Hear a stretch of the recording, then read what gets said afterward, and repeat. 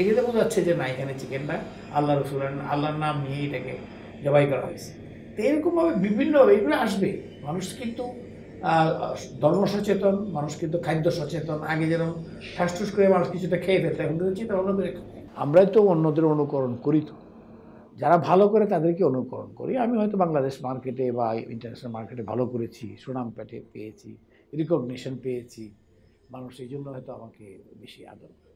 ব্যর্থতা এখন মনে করেন যে আমি যেতে চেয়েছিলাম এই যে কয়েকদিন আগে অস্ট্রেলিয়াতে।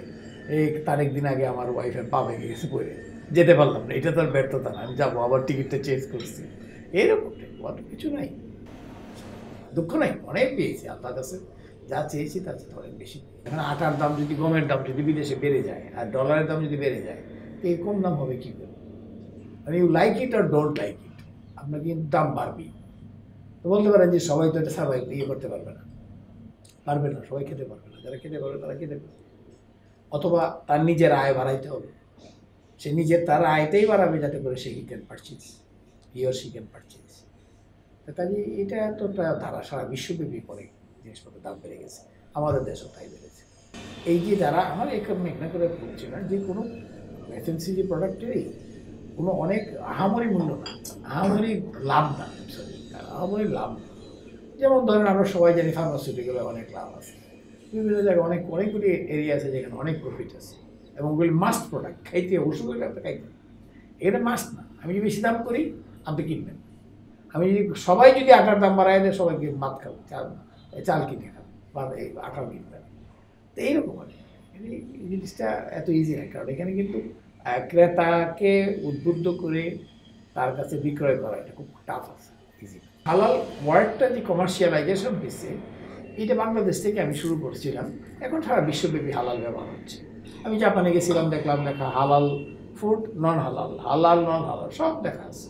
ওটাতে তারা আইডেন্টিফাই করছে যেটা মুসলমান খাইতে পারবে বা হিন্দুরা খাইতে পারবে ওইটা খেতে অন্যরা খেতে পারবে না। এইটা দিয়ে বুঝাইছে। আপনি অনেক জায়গায় গিয়ে দেখবেন হালাল কর্নার, ম্যাকডোনাল্ডসের মতো জায়গায় হালাল কর্নার করেছে। কারণ সেখানে মানুষ মানে খালি যে চিকেন দিলেন চিকেন দিলেন খাইতে পারবে না।